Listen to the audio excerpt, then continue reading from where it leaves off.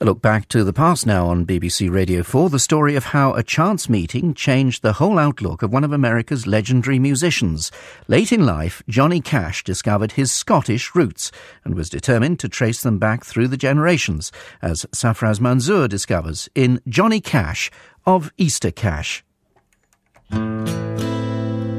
With a voice that rumbled as deep as bone, lyrics that spoke to both sin and salvation, and a life spent walking the line between holy faith and unholy temptations, Johnny Cash was one of the all time greats of country music. I hurt myself today. By the time he died in 2003, the man in black had already secured his place amongst the immortals of American music. His career had begun in the early 50s alongside Elvis Presley and included a celebrated prison tour of San Quentin and Folsom. During the 90s, he enjoyed an acclaimed return to form with a series of acoustic albums that sealed his reputation as an outlaw and original.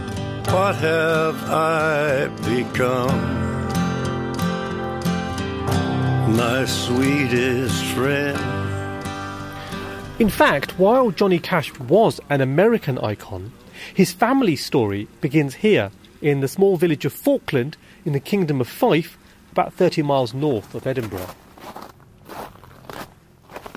So, what is your what's your own relationship to Falkland Palace then? Um, I'm the hereditary keeper of the palace and took that over from my dad. Ninian Crichton Stewart lives in Falkland Palace, now looked after by the National Trust for Scotland.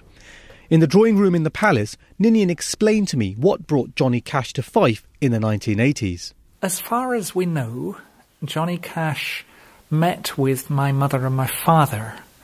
My sisters and I don't know an awful lot about that meeting, but we think it must have been when my parents went on a cruise and ended up, I think, in New York and then got a flight back. So the story is that they met at an airport. He was on a flight and he was sitting next to a gentleman and they started talking. And that gentleman was Major Crichton Stewart. Rosanne Cash, Johnny Cash's daughter. And they began talking, and my father says, Well, I've always kind of heard that I had Scottish ancestry. And he said, uh, the Major said, I know you do, because there are streets with your name on it where I live. We have a farm called Cash Farm, and there's various lands which draw their name from Cash. So it sounds like that triggered a search of Johnny Cash in terms of trying to find out if there was any truth to that. My father was so taken by this that he had our ancestry done back to the 11th century.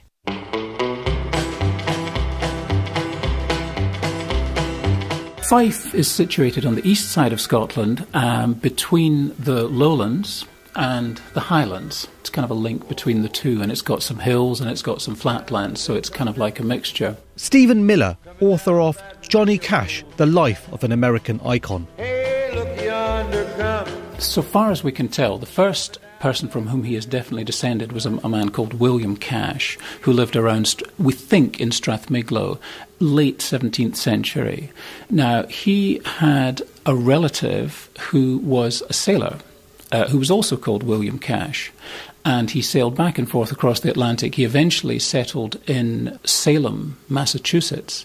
And he brought one of his relatives over from Scotland to Salem and it was from this man that, so far as we understand it, the cash line flows. The other thing that's quite interesting is you know, Johnny Cash is very much an American icon, isn't he? He's seen as somebody who kind of epitomized what it means to be American. So the fact that he actually has ancestry or had ancestry that was Scottish, in a way, it tells us something that we don't. A lot of people might not know. Uh, well, no, that is true. I, I, think most people would assume that he was sort of American through and through. But I mean, to be fair, you know, his ancestry it does go back to Scottish roots, but that's a long way back. We're descended from Ada, who was King Malcolm IV's sister.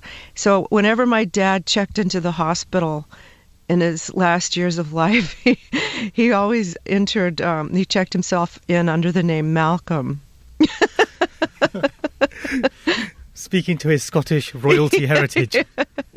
yeah, well, he he just he relished that connection with royalty, I think.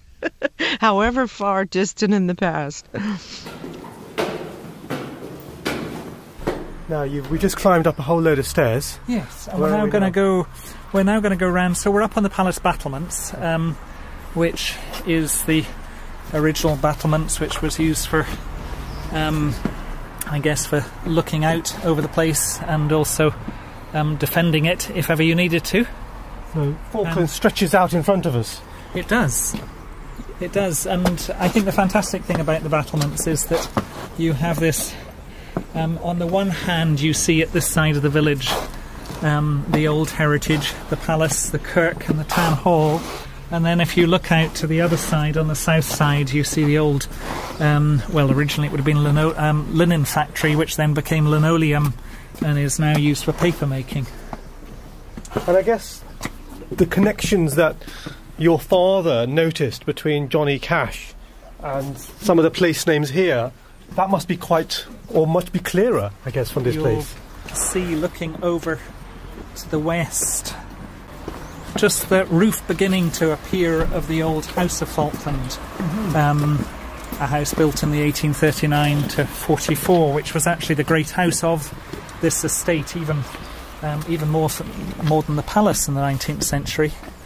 Um, and then, if we go further north from there, where you see those trees rising up, the pine woods, just beyond there is the land of Westercash, and then as we come further east, we'd be coming towards this is Eastercash Farm, just coming along by by the road.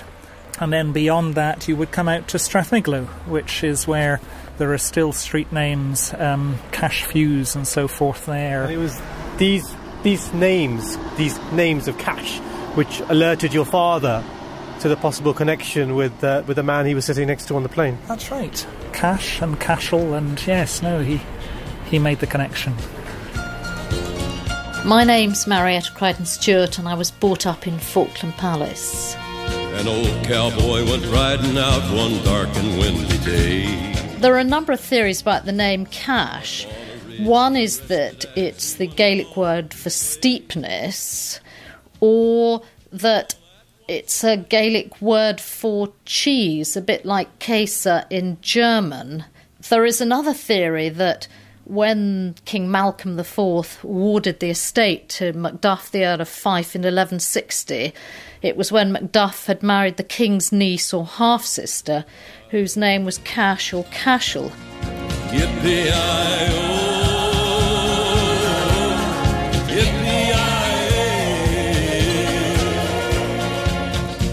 Johnny Cash visited Fife a number of times, most famously in October 1981 when he came to film a Christmas show in Scotland. The locals were treated to the surreal sight of Cash and guest Andy Williams recreating Christmas scenes in the middle of autumn. Few copies of the programme exist today, but one is held in the collection of the Country Music Hall of Fame and Museum in Nashville, Tennessee. Mindful of his roots, Johnny Cash made sure that much of the filming for the television special took place in Fife. We've come here to Scotland to do this year's Christmas show for several reasons. Since my ancestors come from County Fife or the Kingdom of Fife, and since the country has declared this to be the year of the Scot, the other day, Andy Williams and I went to visit the home of King Malcolm, one of Scotland's early rulers. It's called Falkland Palace. In 1160, the Earl of Fife married the king's niece, and her name was Cash.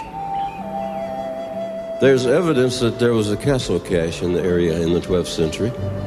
Well, I'm impressed, John. And you really can trace your family tree all the way back to uh, a Scottish king? Mm-hmm. Yeah, but I don't want you to feel uncomfortable appearing with royalty for the first time. Well, John, this is not the first time for me. No? No, I've sung with Count Basie and Duke Ellington. I do have two memories of Johnny Cash's visit to Falkland. The first was of Johnny and Andy Williams walking down Falkland High Street, a very incongruous sight, as Johnny Cash absolutely was the man in black. As far as I remember, he had a long black trench coat, a bit like a highwayman's coat. And the thing I probably remember most was that he had quite remarkable black leather boots, but they were very much sort of working man's boots, scuffed. and he and Andy walked down the high street, a very, very strange sight. The second thing I remember is the two of them filming down in the garden of the palace by the fish pond. However, any filming process takes forever, and so I think I only hung around for a bit and um, then moved on to other things. So that's my two memories of the filming at Falkland. You know, there's a post right in front of the palace that my dad used to just perch on in the afternoon, and the townspeople would walk by and he'd talk to everyone. That was a time when he was talking about his ancestry a lot and his excitement about where we came from, and he had this genealogy written out. And, you know, I think that was kind of the the culmination of a few years of intense seeking and being inspired by it. There is the beautiful and hauntingly beautiful music of Christmas. That music played a large part in one of the most memorable moments of our trip. I went to a 600 year old church, St. Monans, on County Fife's rocky coast.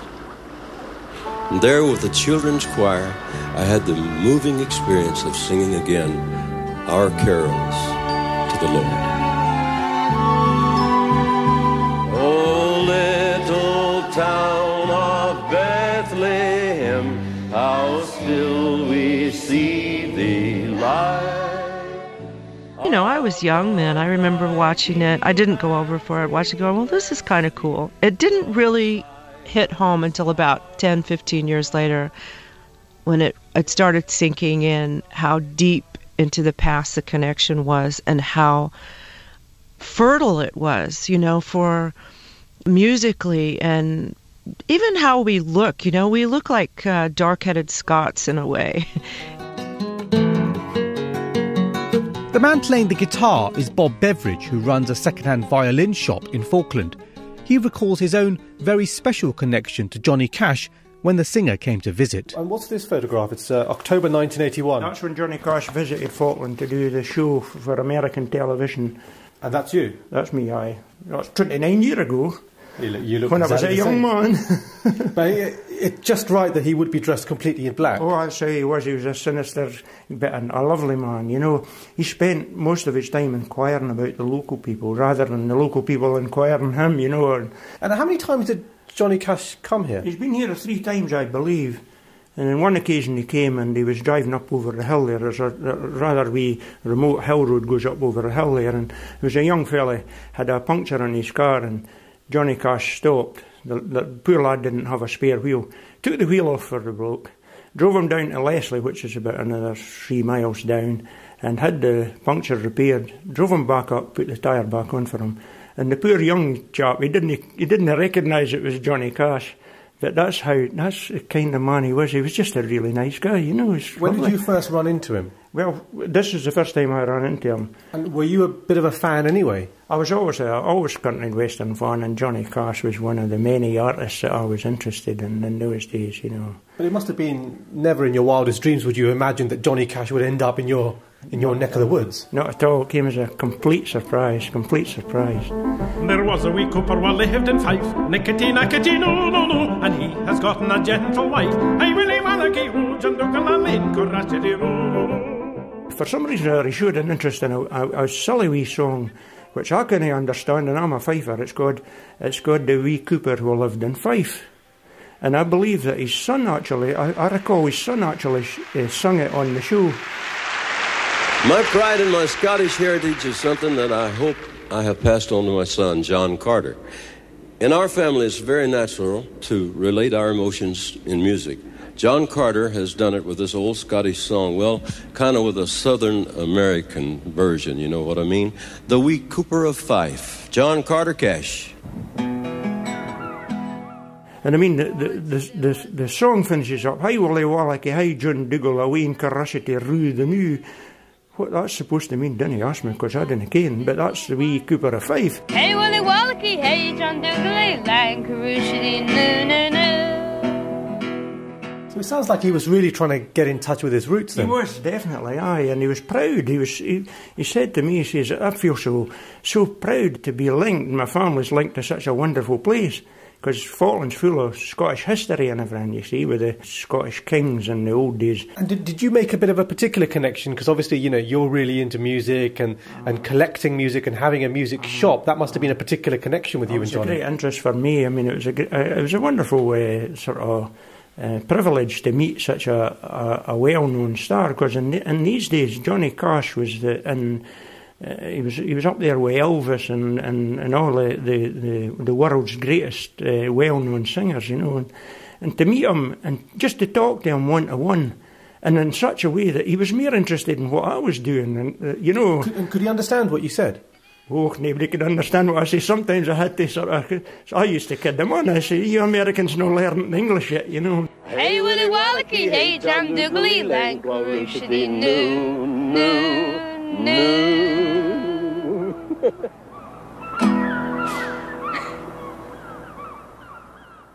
And could you give me an idea about where the early 80s stands in terms of his own career? Because obviously, you know, the beginning with Sun Records and with Elvis and Jerry Lee Lewis in the late 50s, and then in the 90s with Rick Rubin, both those times he was really cool. What was he doing in that early 80s period? Uh, not a great deal. Um, um, I mean, he himself accepted that. I mean, his, his career was in a very bad place. Um, I mean, he was massively successful up until about the late 60s, on and off, and then that continued through the 70s. By the 80s, um, he was still in demand for live performances. He had a huge, loyal following all over the world, but in terms of record sales, I mean, his albums were selling very, very poorly. And of course, he was eventually dropped by his record label, Columbia. And I He think wasn't cool at that time, was he? 1986. No, no.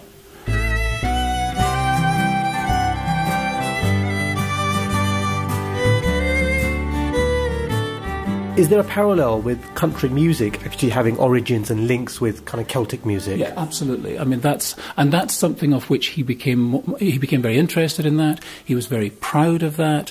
Um, he knew perfectly well that the kind of people who were his ancestors.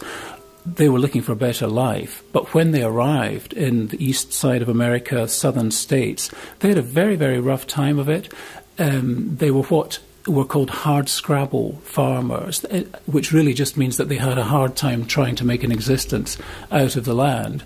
Um, they would often get the, the least good bits of land because they were the poorest people. So, you know, life was very hard.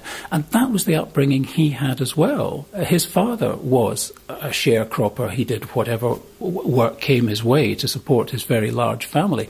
But what Cash also knew was that when people came over from Scotland, Ireland, Wales, they brought with them their music as well. That was the, you know, in a very, very hard life. I mean, this was the one area of pleasure that they, they would have, often associated with religious ceremonies or religious uh, festivals. Um, and they would have fiddles, they would have uh, basic guitars, and it was from all of those kind of origins that the kind of country music which he grew up surrounded by came, and he was very, very aware of that.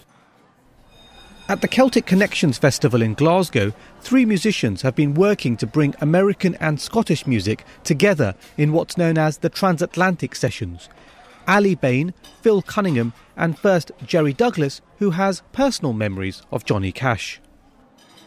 actually recorded with Johnny Cash. I recorded with Johnny several times. I think his father impressed it upon him, and they were very, very poor people, sharecroppers in Arkansas.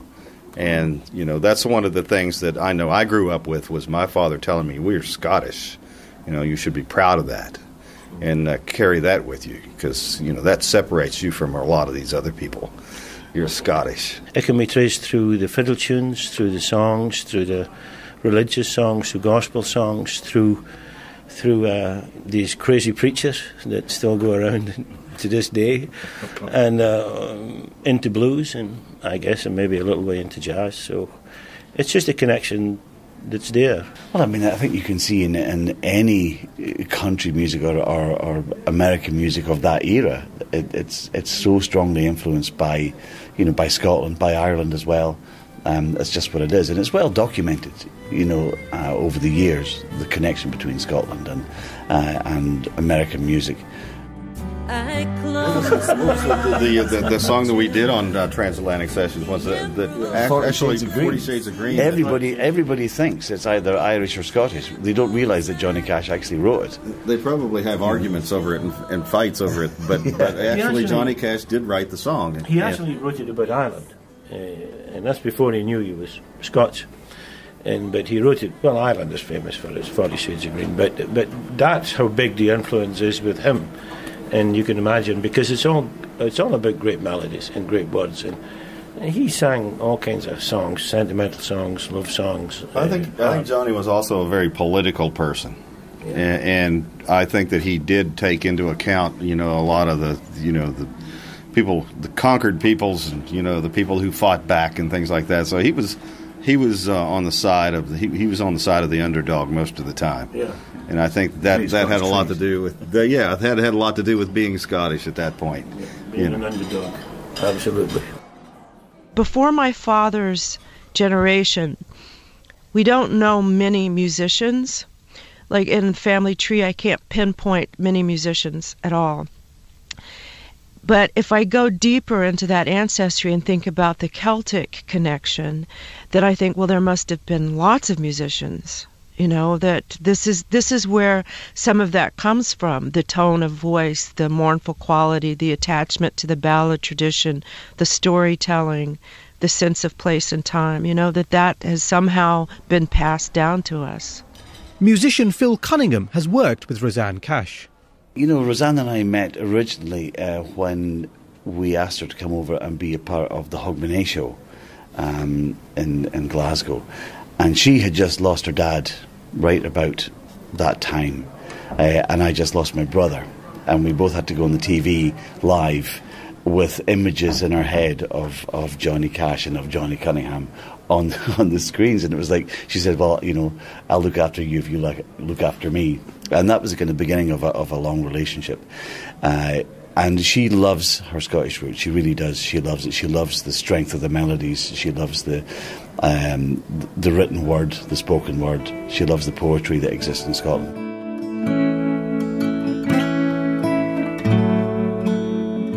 It must have been four or five years ago, and it was a cold December day.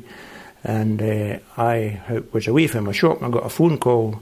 There was someone working in the shop, and I came down. There's this American girl, and I sort of was bothering her because I said, "What are you doing out on a cold day like this?" And she says, "Oh, she says I, I've traced my family ancestry to this district." And I says, "And what's your name, hen?" She says, "Rosanne Cash." I says, that's strange. I says, because Johnny Cash, the singer, I says, he traced his family roots to this district. That was my dad, she said. So I nipped up the stair and I got some photographs and I came back down and I said, you know, I said, I was so impressed with your dad. Everyone in Falkland that had the privilege to meet him was so impressed. I said, he's such a lovely man. The poor lassie, she burst out crying, you know, with, with emotion. She's a very emotional girl. And ever since then, she's, she's been regularly in touch with me. I'm tearing up just listening to Bob talk about that day. It was in December. Um, my father had just died the September before, so it had only been a couple of months. And I took my daughter, my youngest daughter, to Falkland that day. And he's right, the shop was closed. It was bitterly cold. But there was a note on the shop door that said, if you want in, call this number. And I saw this teapot in the window that was very much like a teapot that my dad and June had had in their house. And so I called, I said, Oh, I must see that teapot. So I called the number, and Bob came and opened the shop for us. And it's just as he said, we were wandering around, and he said, Well, what are you doing here on such a cold day? And I said, Well, you know, my family ancestry is here. And then when he brought the photos down of my father sitting literally in front of the shop, you know, from where I was standing, I, I did. I, I just burst into tears crying. It was such a beautiful moment. And, um, you know, Bob really, he kind of, he captured my heart that day. Yes, I'll sail off on the good intent, nevermore to roam. There's something that resonates in me very deeply about it. The place, the look of the place, the music, the people, it all just seems very familiar to me in in the best way possible. But in a way, I mean, to a to a to an outsider, it seems very different from the way you might have been raised. Well, yeah, I mean, I was raised in Southern California, so that's pretty much different from everything. It's certainly not Fife, is it? no, it's not Fife. but there's something I I mean, I hesitate to say the word. There's a spiritual connection. That's what it feels like to me. It feels like uh it feels like a part of home. Maybe not the home or I would be living there, but it feels like a part of home. I think it is in her heart to carry on her father's work, you know, and and part of his work was, you know, late in life finding out how how deep his Scottish roots really were. You know, part of what she does is to find out these things for him.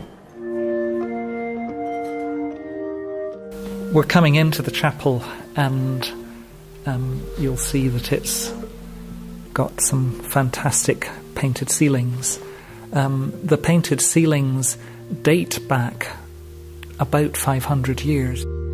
If you miss the train I'm on, then you'll know that I have gone. You can hear the whistle hundred miles. And as the years have gone by, what's been your own journey of trying to understand that relationship and that history between Johnny Cash and this place? That journey probably started for me a few years ago when when Rosanne Cash got in touch and was coming over here.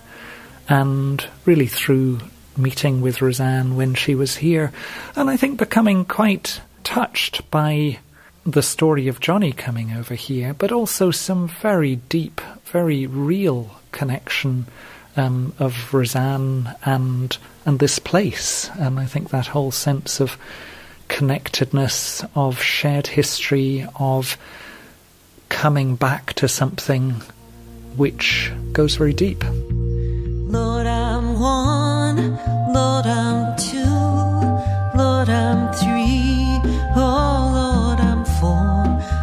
Lord, I'm five hundred miles away from home.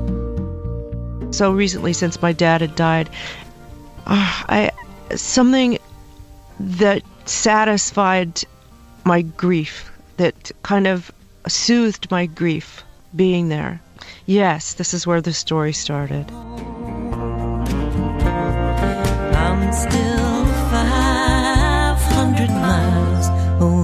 From.